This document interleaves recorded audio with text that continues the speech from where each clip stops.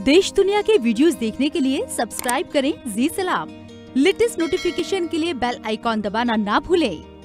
और अब बात करेंगे आज की तारीख की। 20 साल कबल 1999 में 26 जुलाई को हिंदुस्तानी फौज के जाबाज फौजियों ने पाकिस्तान की नापाक हरकतों को शिकस्त देते हुए सियाचिन और द्रास सेक्टर पर गैर कानूनी कब्जे की कोशिश को नाकाम कर दिया था। करीब डेढ़ दहाई कबल 26 जुलाई के दिन बादलों से बारिश नहीं, बल्कि आफत बरसी। 2005 में मुंबई समेत महाराष्ट्र के कई हिस्से बारिश का शिकार हुए, कई लोगों की मौत हो गई थी।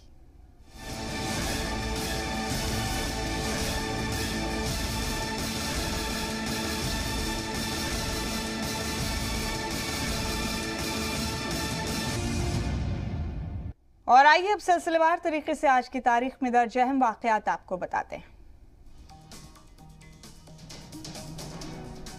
1914 में हिंदुस्तान की मशहूर मशहूर पोइटिस में से एक विद्यावती पैदा हुई। स्पेनिश सिविल वॉर में ब्रूनेट की लड़ाई खताम पजीर हुई।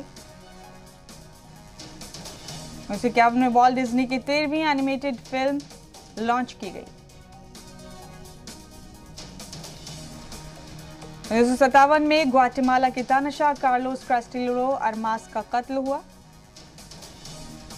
उन्नीस सौ तिरसठ में सिंगकॉम टू दुनिया का पहला